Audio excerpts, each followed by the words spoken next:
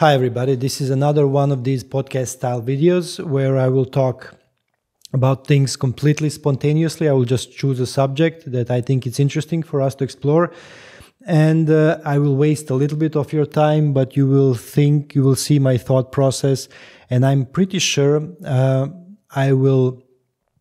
I will be saying stuff that I wouldn't if, if I structured everything nicely and stuff that's probably important and then I would skip that might be interesting for you and for me because I'm using these videos to kind of brainstorm about different different things and think them through.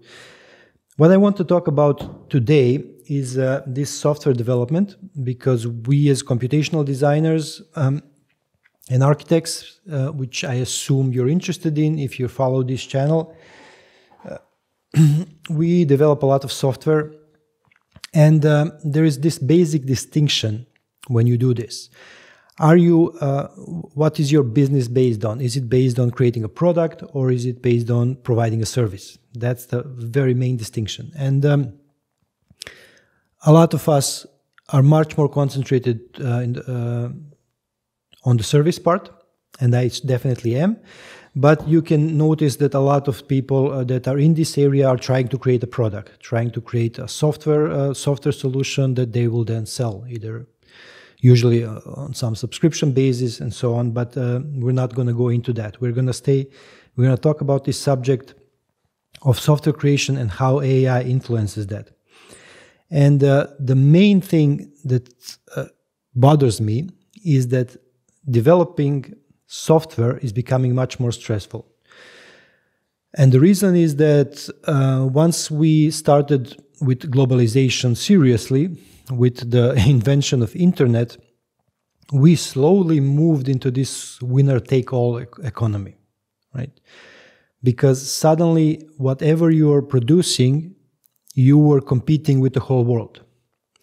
And then and then you could see that in, in all industries. Of course, if you were making movies, you could see that the top 10 movies were watched by the entire world, right? They gathered mil- billions of dollars and all other movies just fought for the uh, crumbles. And that's kind of um, that's kind of grew into this techno feudalism where you have a um, couple of companies that rule the world, and all others are merging. And uh, software is not different, of course. So you have I don't know Autodesk, and uh, that that has the largest share, large share of the market. There's a couple of other big players. There is always room for, let's say, a couple of them, not necessarily only one, because they diverge in, in what they do and how they do it. But the, the pool is very small of, of those at the top, and then everybody else fights for these crumbs. The problem with that is that uh, I think with AI, that's to get even worse.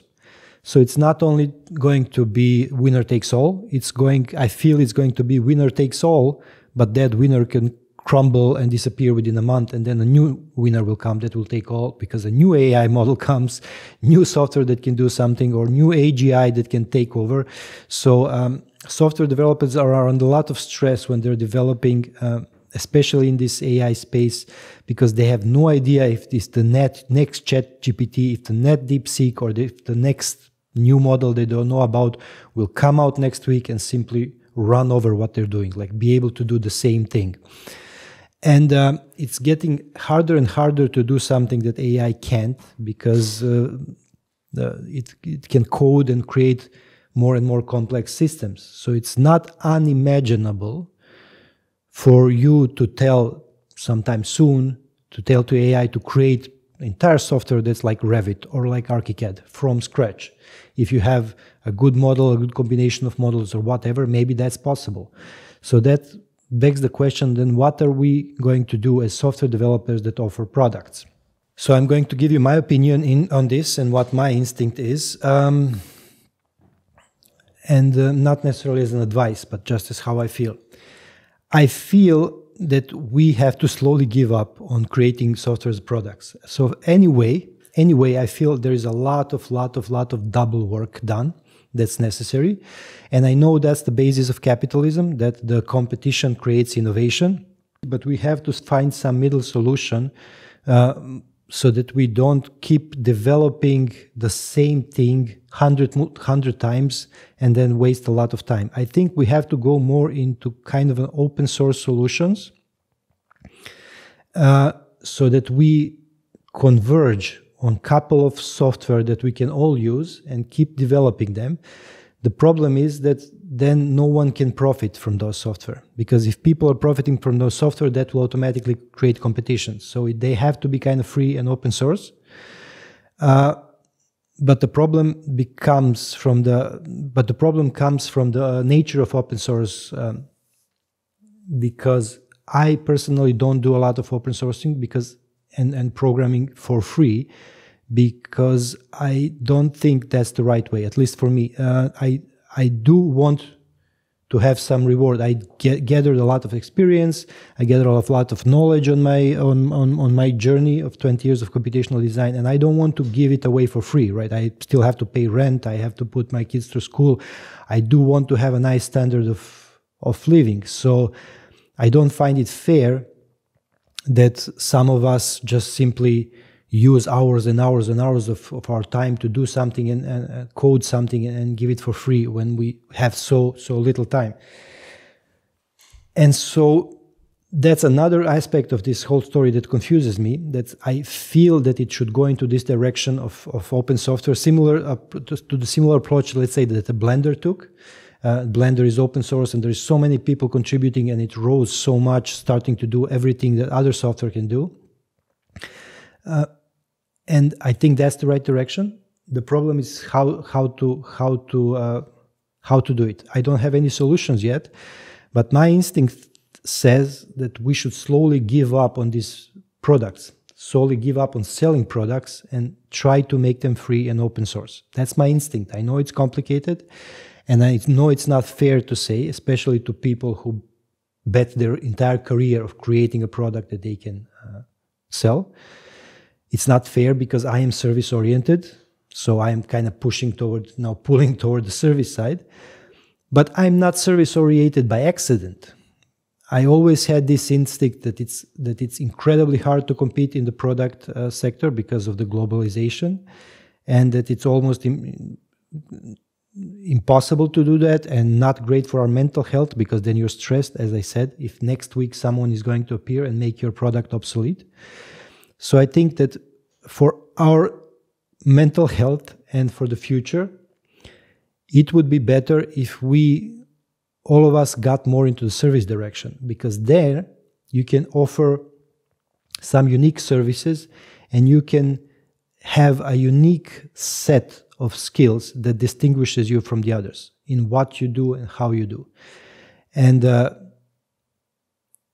software itself as a product then is not something I will be developing soon to sell because I will be afraid of that. And uh, I am developing some software. Maybe you're aware, maybe you're not. For example, there is this gas plugin that I'm doing now, and I'm probably going to be uh, giving it away for free. But here's my plan. My plan is to give it away for free, but maybe keep some of the things that that are completely unique to my way of working, to and to way uh, we structure our work based on what we're doing. We are sometimes we are working on the design. We are using Rhino inside to help architects create this system of automated creation of digital twins. Sometimes we work for facade fabricator fabricators where we uh, prepare everything for production and so on. So we have this system and our workflow.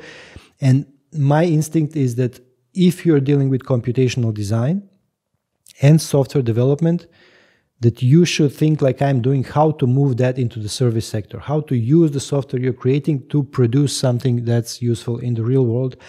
And if you are actually creating software as a product, I really, I really hope you succeed. I wish you all the luck and all the best.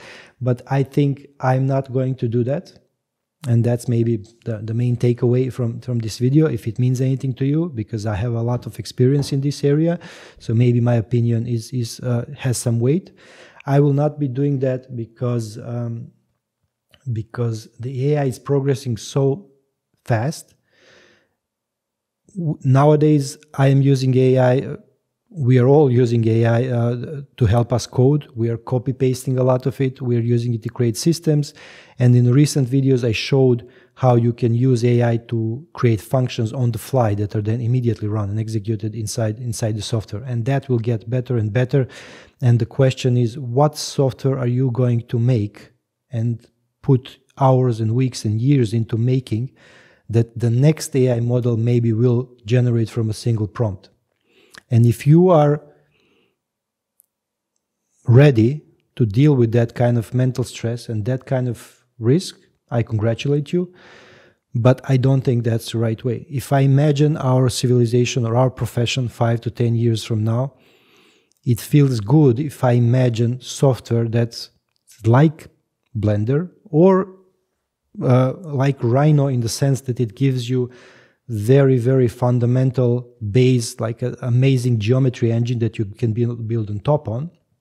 But then everything that we build on top of that is uh, is open source and free. And the good thing is that uh, usually most of that code will be generated by AI.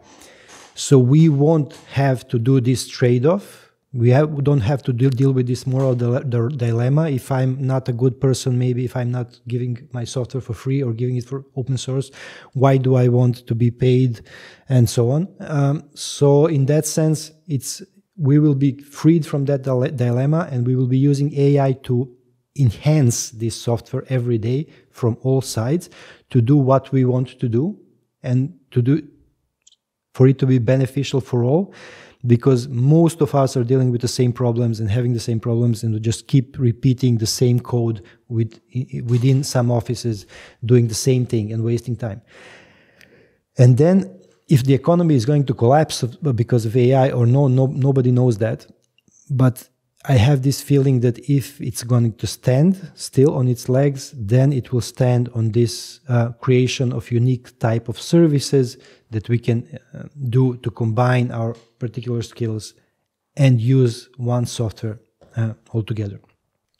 Now, I don't want to make this video too long because I already kind of had one or two points and then I repeated them 10 times. I'm aware of that. And that's um, kind of the main characteristics of these kind of podcast videos, but I think it's important. I think that you, when you say something once, it just goes through and it, you don't really uh, comprehend it. And so I like to repeat things a couple of times, even if it, if it, it if it does waste your time a little bit. But I would be, uh, but I would wonder what you think about it because it's a very, very touchy subject, and it's um, we are every day witnessing this news about AI and how AI is pro progressing. And we are aware that things cannot stay the same.